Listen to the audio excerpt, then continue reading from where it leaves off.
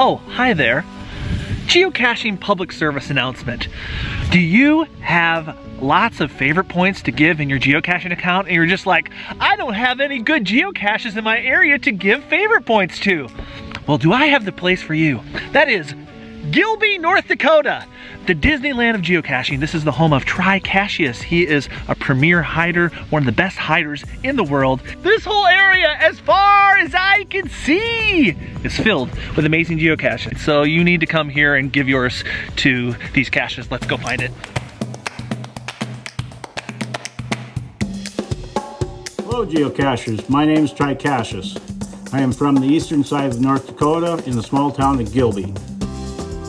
My specialty, I think, is putting out gadget caches. I've got all kinds of weird ideas, weird things out in the trees that you would never expect to find around a small rural community like Gilby. People around Gilby are excited when they find out that people are coming to Gilby just for geocaches. They think it's very odd, but, but uh, people come up to Gilby just to find these caches that I've put out. I started in 2008 and three months later I, I hid my first geocache. And from the beginning I wanted to make different caches that I've been finding.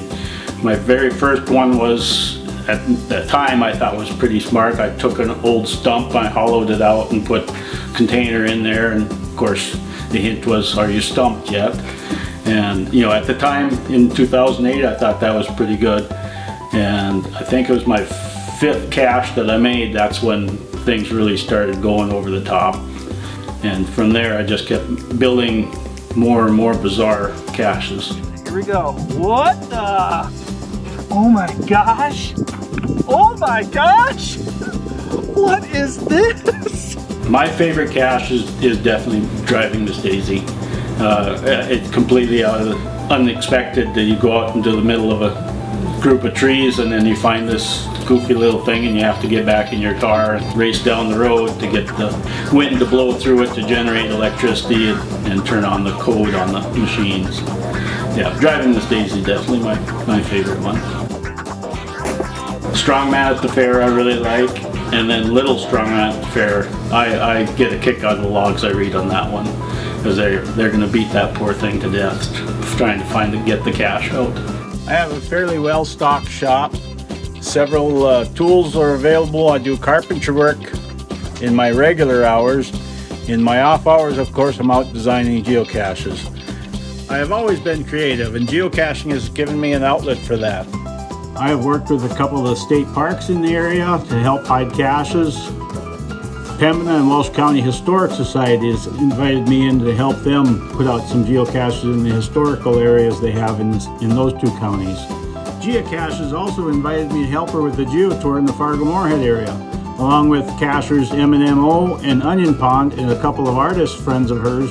We created an awesome geocache tour we had a small event that called Gilby Gone Wild and we had people from eight different states there uh, roughly 120 people, I think.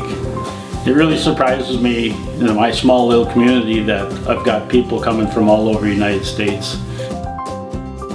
One thing I didn't expect when I started geocaching was all the friends I would meet along the way. Going to events is one of my favorite things to get to visit with all the people that come to them. In Bemidji, Minnesota, there's a geocacher named Pink Monkey 2. And every year she puts on a maker event. So at the event you bring uh, a goofy item of some sort and it gets traded to the to some of the other caches that are there. And when so you bring that home with you and you build that into a geocache and a month later you come back to the second event to show off what you created. Tennis rackets, crutches, a vacuum hose is another one that, that a cache that I made out of all, all because of this maker event. I enjoy making fun caches and it brings a lot of people from all over the US and into Canada to come into Gilby just to find these odd little puzzles I put out in the trees.